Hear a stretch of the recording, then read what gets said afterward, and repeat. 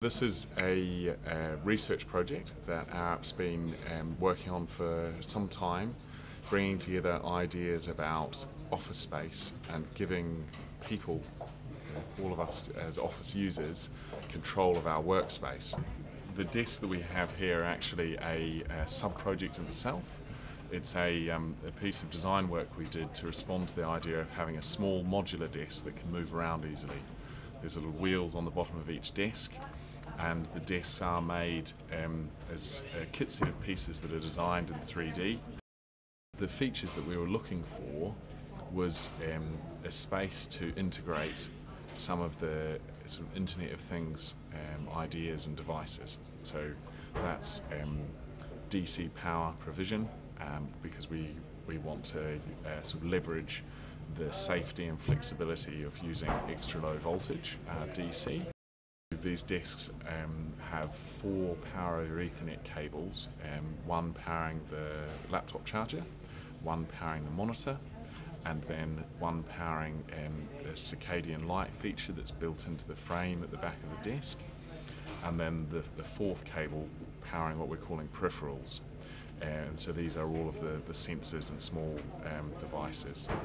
And these sensors are um, providing uh, granular sort of data at each desk about temperature, relative humidity, uh, radiant temperature. This system that we have here allows for much more granular control. And so instead of just having the power on all the time, we can use a PIR sensor or some other mechanism for detecting occupancy. It could be Bluetooth low energy beacon. Um, and so when someone is away from their desk, the system can detect that and can respond by switching off the monitor. Instead of having the lights in the ceiling and then being controlled on the whole floor, we have a circadian light feature which can adjust light intensity and colour temperature, but we're also working towards having a direct connection between the desk software and the sensors we have and the cooling or heating that's in the ceiling.